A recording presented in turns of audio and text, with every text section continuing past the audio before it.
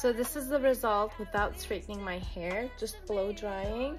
I feel it's super hydrated, super soft, and there's no frizz in it, like which is shocking. Usually my hair is all over the place.